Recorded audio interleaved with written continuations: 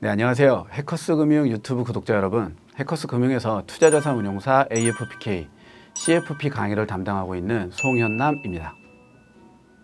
자, 인터넷 강의가 아닌 자리에서 제가 이렇게 촬영을 하고 있는 것이 조금 궁금하시죠? 네, 그 이유는요.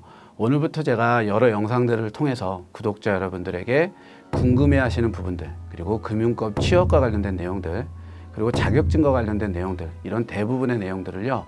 대표로 해서 여러 가지 설명을 좀 드릴 거예요. 네, 그래서 제가 앞으로 여러분들에게 다양한 이야기들을 해보도록 하겠습니다. 자, 오늘 첫 번째 주제는요. 금융 자격증에 이제 입문하시는 분이라면 누구나 다 궁금해할 만한 내용이에요. 네, 바로 금융 자격증 시장이란 무엇인가에 대하여 보는 내용인데요. 먼저 첫 번째 영상이기 때문에 금융 자격증이 왜 필요한지 그리고 취득하기 위해서 우리가 어떤 것들을 공부해야 하는지에 대해서 전반적인 내용들을 알려봐 드리도록 할게요. 자, 특히 이번 영상에서는 실제로 제가 담당하고 있는 자격증이죠. AFPK와 투자자산 운용사 이 두 가지 자격증을 초점을 맞춰서 먼저 설명을 드려볼게요. 자, 그러면 우리가 금융 자격증을 따려고 한다. 그럼 뭐부터 해야 되냐면 또는 우리가 금융 자격증을 위한 트렌드를 알고 싶다. 이런 것들을 하고 싶다면 반드시 지금부터 나오는 영상을 필수 시청해 주세요. 자, 우선 금융권 취업을 위해서는요. 어떤 자격증을 취득하는 것이 도움이 될지 말씀드릴게요. 금융권에 취직하시는 신입사원분들이요. 평균 두 개 정도의 자격을 갖고 있다고 하거든요. 자, 특히 투자자산 운용사라던가 AFPK 이 자격증들을 많이 가지고도 계시는데요. 이 자격증들은 우리가 금융권을 간다라고 이야기를 했을 때요. 가장 기본적인 자격증으로 보여져요. 근데 이제 이런 자격증의 선후 자격증 내용들 간단하게 몇 가지 더 보면 먼저 대행인 자격이라는 거는요. 이게 실질적으로 금융권에 들어가기 전에 선수로 따야 되는 자격들이고요. 그 다음에 AFPK나 투자자산 운용사 이 자격증을 취득한 이후에 자문 인력이라는 자격증을 따요. 그래서 자문 인력은 실제로 금융권에 종사하시는 분들만 딸 수 있기 때문에 지금 먼저 취득할 필요는 없고 금융권에 취득한 이후에 따시면 돼요. 됐죠? 그럼 이제 이런 자격증들, 전후 자격증을 제외하고 가장 핵심적인 자격인 AFPK와 투자자산 운용사에 대해서 제가 조금 더 깊이 있게 설명을 드려볼게요. 자, 우선 AFPK 자격은요, 은행권을 취업 준비하고 있다. 그러면 가장 많이 따는 자격이고 이런 분들이 반드시 주목해야 되는 자격이에요.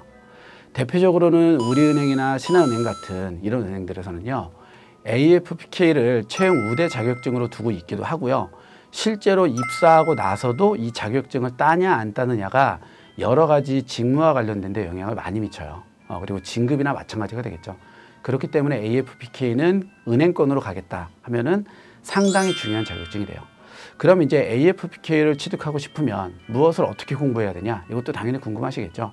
AFPK라는 자격은요. 기본적으로 재무 설계 업무에 관련된 서비스를 제공하는 자격인데요. 이때 이제 얼마만큼 전문성을 갖추고 윤리적인 내용들이 같이 수반되어지냐 이런 두 가지를 종합적으로 바라보는 자격증이에요. 그렇기 때문에 이제 은행이라든가 금융권 취득을 한 이후에 고객 응대 업무를 직접적으로 하신다면 실무에서 꽤나 유용하게 쓰일 수도 있고 사람들이 봤을 때 전문가로서의 인식도 줄 수가 있겠죠. 그럼 이제 이 AFPK 자격은요. 모듈 1과 모듈 2 이렇게 두 가지로 나눠져 있는데요. 먼저 모듈 1 같은 경우에는 재무 설계 그리고 윤리 그리고 은퇴 설계, 부동산 설계, 상속 설계 이렇게 과목이 구성되어지고요.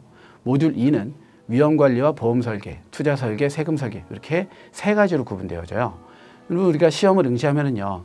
1과 2, 이 두 가지에서 평균 70점을 취득해야지 우리가 합격할 수가 있고요. 그래야지 이제 AFPK 자격증이 나오는데 요 공부하실 때 우리가 다양한 부분들을 이제 고려하고 조금 더 전략적으로 중요한 내용들은 제가 다음번 영상에서 훨씬 더 디테일한 내용들을 설명 한번 드려볼게요.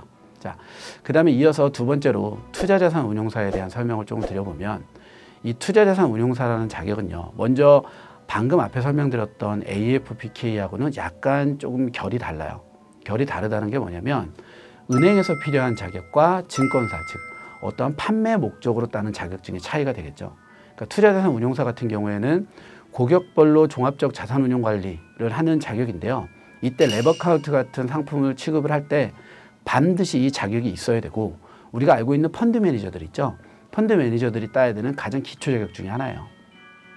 자, 그러면 투자자산 운용사 자격증을 취득하기 위해서는 또 어떤 공부를 어떻게 해야 되냐 보면은요.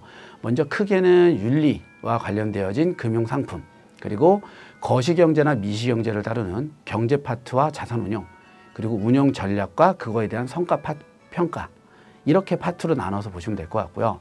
시험 합격 기준은요. 응시 과목별로 40%를 넘어야 돼요. 꽈락이 있다는 거예요. 그리고 전체 점수가 70점을 넘어가셔야죠. 총 100문항 중에 70문항 이상을 맞추셔야지 합격을 할 수 있어요. 또 지금 설명드렸던 투자자산 운용사 같은 경우에는 또 마찬가지로 우리은행이랑 신한은행에서요. 취업 시 우대하는 자격으로 또 취득을 하고 있어요. 그러니까 A 자격이나 우리 투자자산 운용사 자격 이 두 가지 자격이 모두 다 있다면 은행 또는 증권사, 금융권 어디로 가더라도 다 대우받을 수 있고 취업과 관련되어져서 우대받을 수 있는 자격이니까 반드시 좀 준비를 하셔야 되겠죠. 뿐만 아니라 취업하기 때 또는 은행이나 증권사에 취업하고 나서 또 자산 운용이나 다양한 금융 상품을 다루기 위해서는 또 이 자격증이 필요한데요. 또 앞서 설명했던 투자자산 운용사라는 자격은 반드시 법적으로 필요한 자격이에요. 앞서 제가 랩어카운트나 이런 이야기 조금 드렸었죠. 실제로 금융 상품들을 판매하기 위해서는요. 이 투자자산 운용사라는 자격증이 있어야지만 판매할 수 있고요. 이거 없이 판매하면 은 자격이 없는 자가 판매하는 것이기 때문에 이 법적인 문제가 생길 수도 있어요. 그렇기 때문에 실제로 와서 이제 실적을 내고 성과를 내기 위해선 투자자산 운용사가 반드시 필요하겠죠. 이제 이러한 것들을 조금 더 확장을 해보면 우리가 투자 일임이라는 이야기들을 좀 하는데요. 이 투자 일임이라는 것들도 조금 더 쉽게 설명드리면 고객이 돈 가져오면 그 돈 갖다가 물건에다가 상품에다가 포트폴리오 짜서 판매해 주는 거예요. 이런 거 할 때도 전부 다 투자자산 운용사 자격 반드시 갖춰야 된다 이거죠. 이번 시간에는 제가 이 금융 자격증 중에서 AFK랑 투자자산 운용사에 대한 설명을 조금 해봤는데요.